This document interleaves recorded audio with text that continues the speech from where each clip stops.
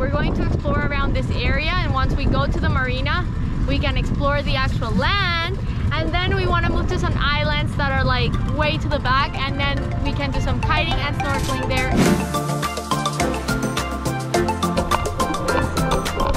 Hopefully there's not too many hills. Baby, we didn't bring the, the charger. No. All this for this package. Hakuna Matata. It means no worries.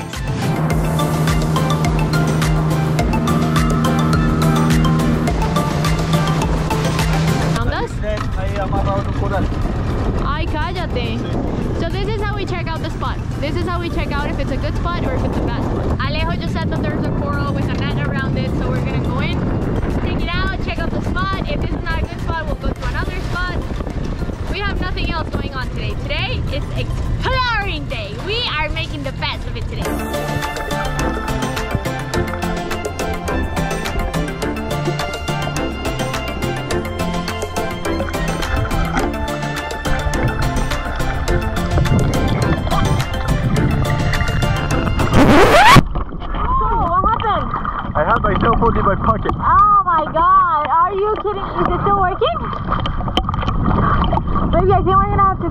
Back with a with a knife.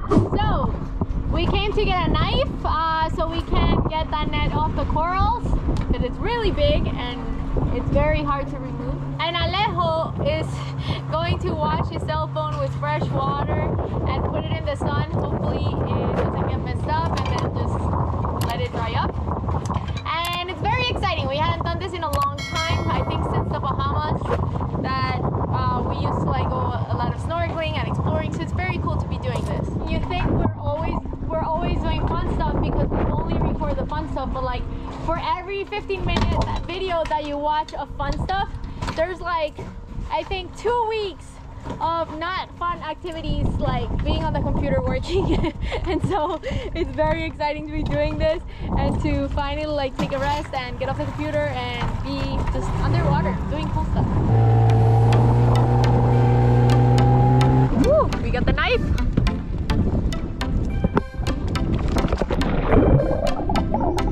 Yeah.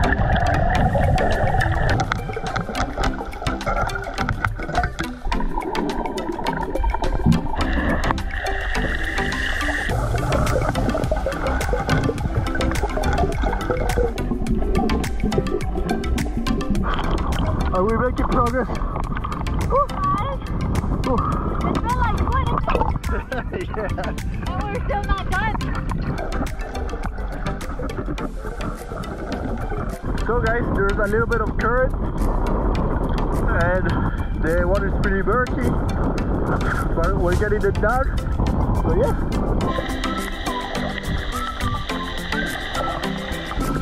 Got it.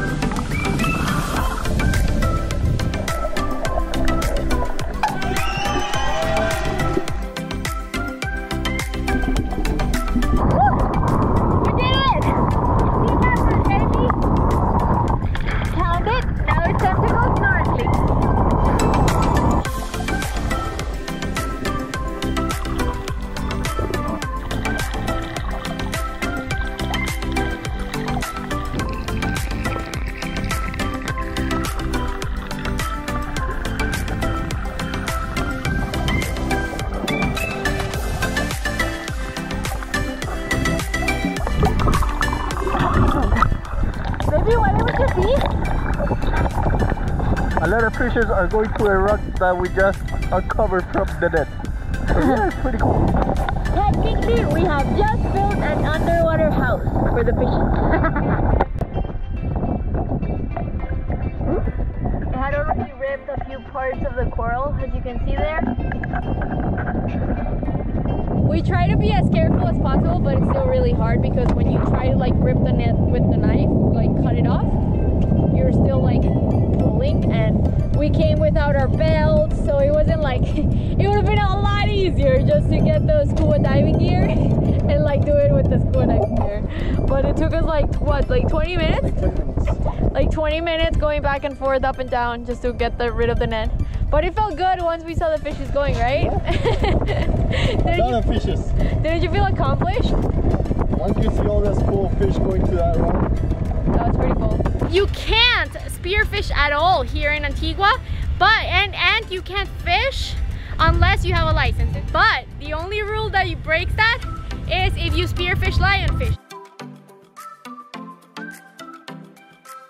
What's up everyone? Good morning.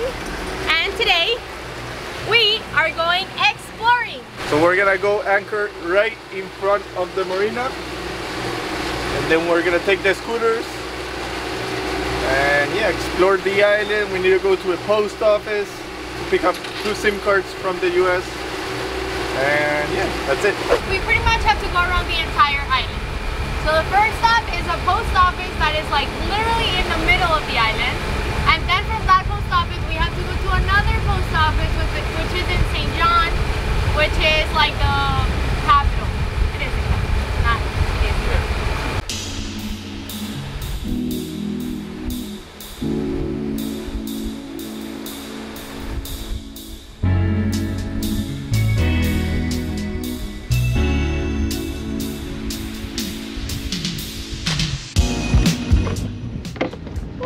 Okay, so we're going. We have lots of trash to get rid of. Like three, more than three weeks worth of trash. Well, since the US Virgin Islands, right? We're heading to the marina, leave the dinghy there, and we are going to go exploring. So we have to drive 30 minutes on the scooters to get to where we have to go. 13 kilometers. 13 kilometers. We'll see how the battery lasts. Hopefully there's not too many hills. Maybe we didn't bring the, the charger. No.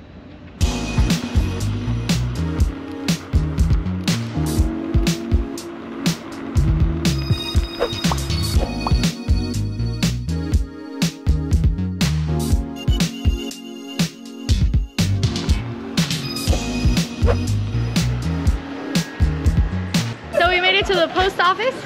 It was a 30 minute ride and we have flat butts and hurting hands because we're pressing the accelerator all the time.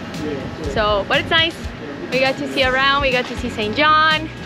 Everyone was beeping at us and looking at us because I think we're like the only scooters in the entire island or like the only motorcycles. We haven't even seen a motorcycle here.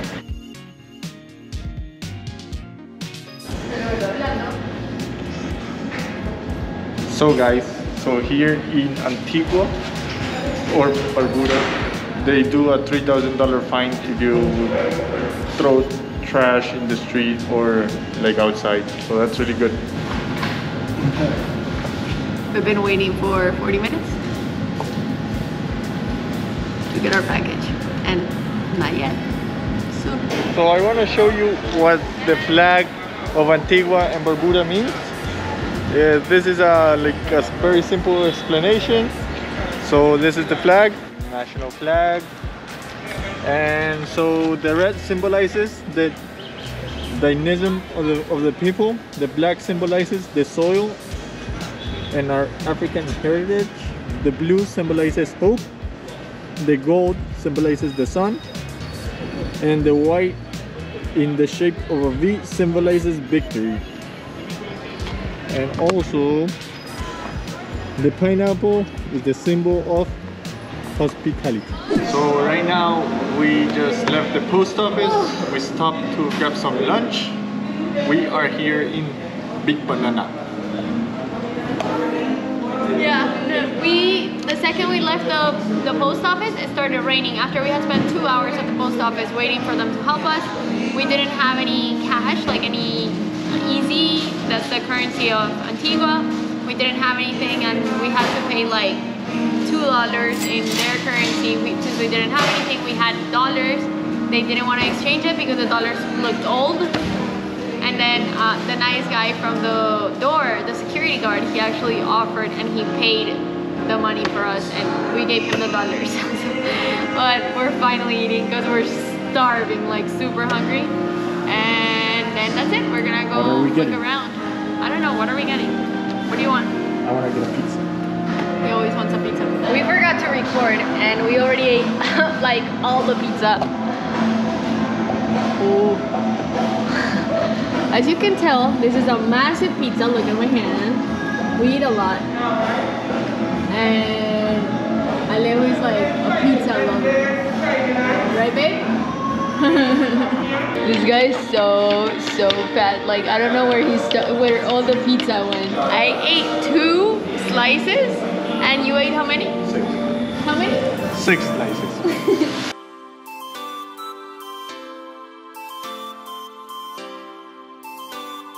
so yeah, this is the port of St. John.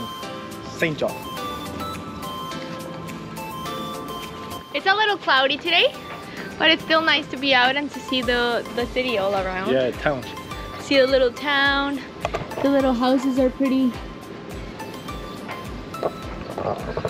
It's pretty nice. Hello, Captain. Do not touch. It will break. I'm so full. Can't even walk. How are you not full? He ate six pizzas. Oh, so we are going to a pet store because Ozzy has an ear infection. And so even though we've been cleaning it with like apple cider vinegar, which is good, we own a business where we sell pet supplies and grooming supplies for dogs. That includes an ear cleaner that removes ear infections. And Ozzy has an ear infection right now and we don't have anything with us. Well, we do have some things, but we don't have the ear cleaner. And so we're gonna try to stop at some pet stop, like a pet shop or something, see if we they have like the little thing to clean the dog's ears. It's not a big deal, but it's really uncomfortable for him.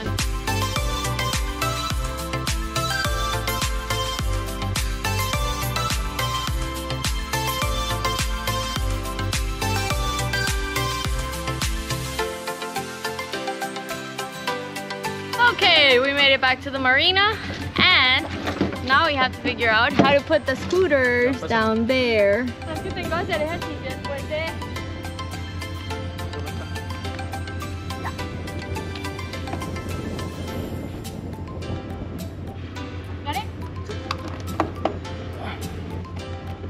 Ay, Mari.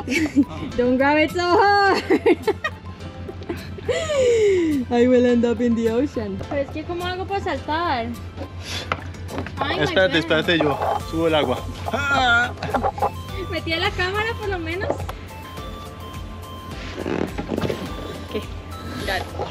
What a long day. All this for this package. Long, long day.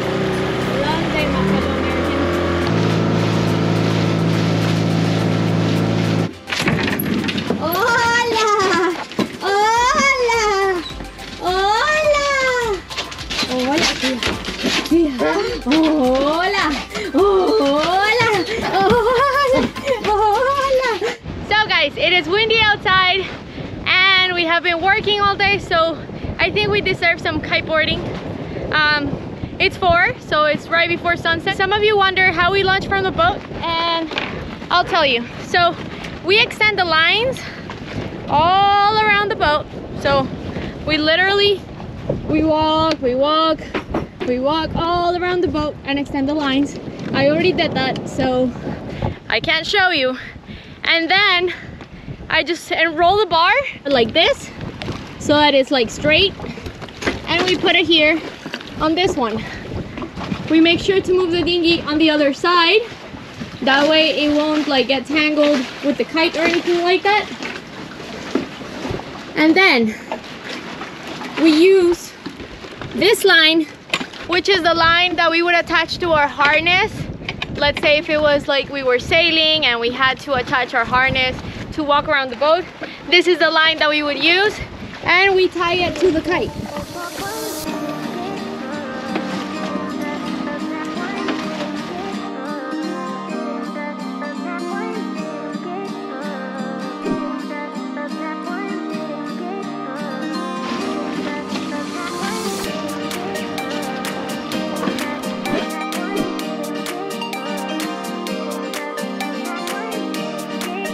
Okay, so the next thing that you're gonna do is slowly release the bar and make sure none of the lines are around you, around your head, your feet, your fingers, because that could be horrible. You could be like, your hand could come up, I don't know. Okay, let's go of the bar, the bar like really fast. Because the kite like takes on air. And, and then you just let the kite do its thing. So guys, Andrea's gonna put on the board.